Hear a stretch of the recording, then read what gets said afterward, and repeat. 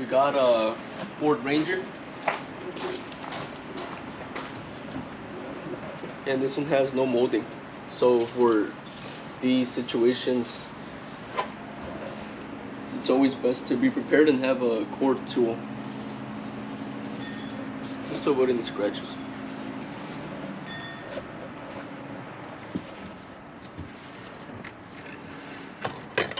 We're gonna put the bat on one side.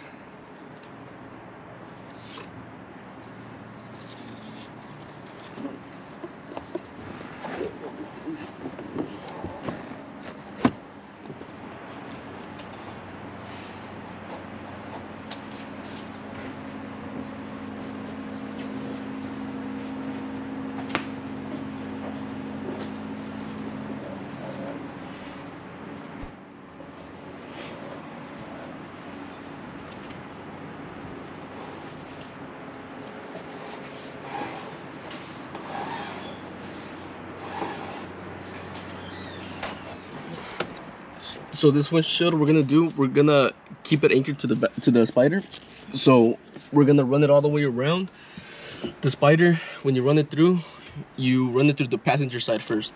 So that way it doesn't um you know act weird on you. So it goes through here and around the passenger. So just gonna tuck it in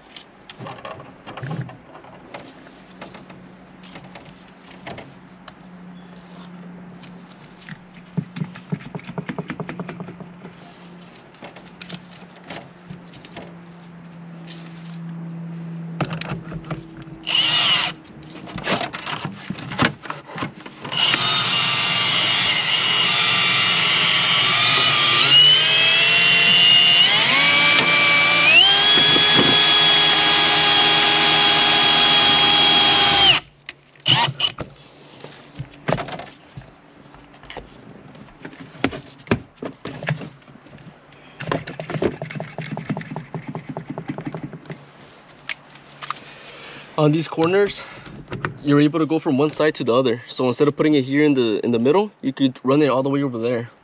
But i just like um the extra strength it has when it's a little closer because right here it has some some big clips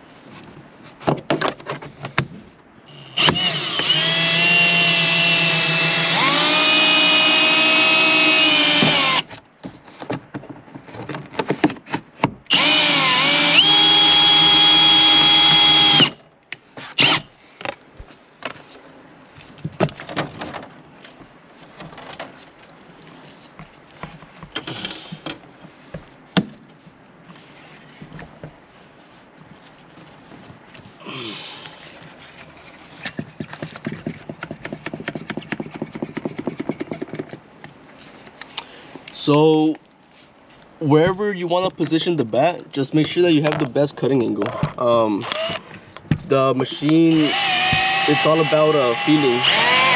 So if you feel that it uh, that it gets a better cutting angle from one side than the other, then but it's all about that angle.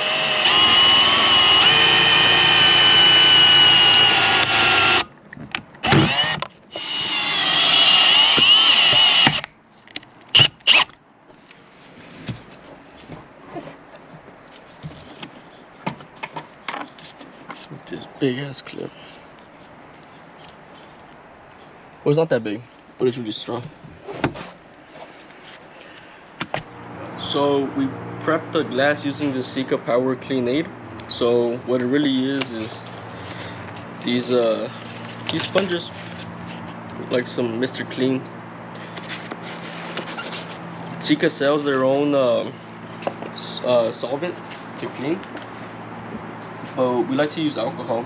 If you check out these uh, fingerprints on the top from the grease of the fingers from all the you know warehouses, uh, we gotta clean this off really good. Otherwise, some of the urethane won't ad ad adhere all the way. So we just get a little alcohol on the Powerade and we give it a few good scrubs.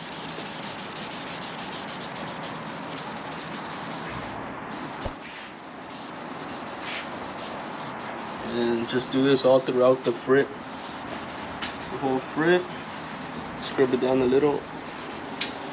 It'll leave it nice and clean. And then it'll give us a good surface to uh, put our activator. So you can see all the fingerprints are gone no more greasiness after that we use this activator just so that it adhere so that it adheres really good to the glass. Um, the glue that we use is P2G which means permanent to glass. Um, we use the plus and then we, we also use the new ultimate and it all depends on the price range for the client. If they want to drive away in 30 minutes or if they want to drive away in three hours.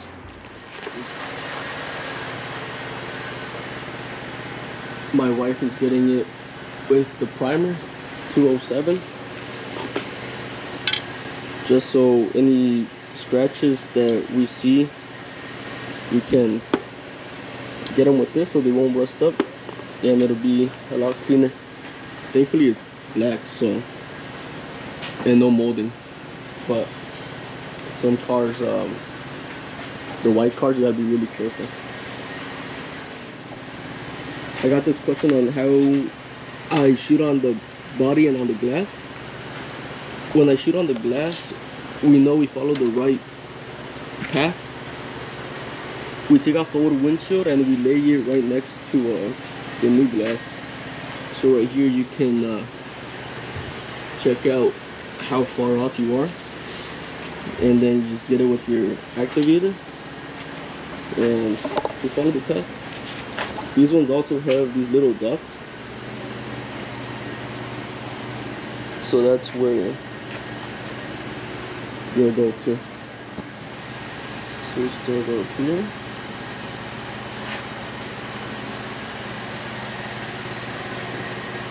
And then right here check out the corner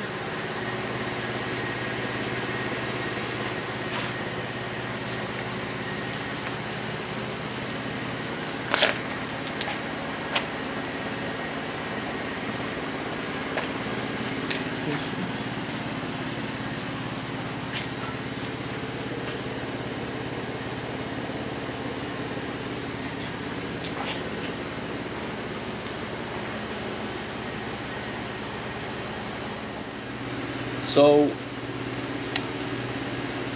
it's all about preference. If you want to shoot it on the glass or on the body, um, as long as it doesn't leak on you, then you're doing a good job. The only thing I will like highly highly recommend is that you use a V-bead. There are some places that uh, just cut the top off evenly and they use a like an O. The problem with the O is that a lot of air gets stuck in between or inside of the glue and it makes up pockets of air. So to avoid that the the v-bead is just uh, superior. So doesn't matter if you shoot on the glass or the body just make sure you have a v. And your joints make sure that your joints are uh, are nice and clean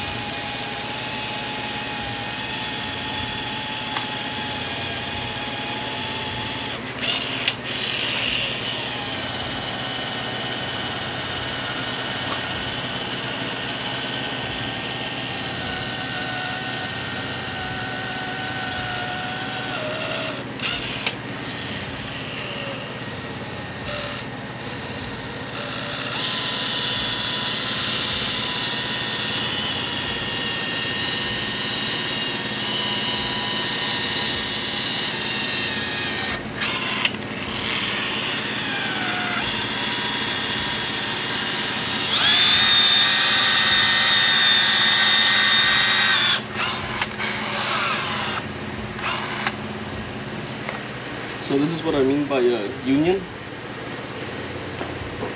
When the beginning and the end meet. So just make sure that when you do this, you paddle it really good. Make sure that the seam is gone and nothing could go through. No air, no water. And when you shoot on the glass, try to start at the bottom. The less unions you have, the better. And the more towards the bottom center, the better.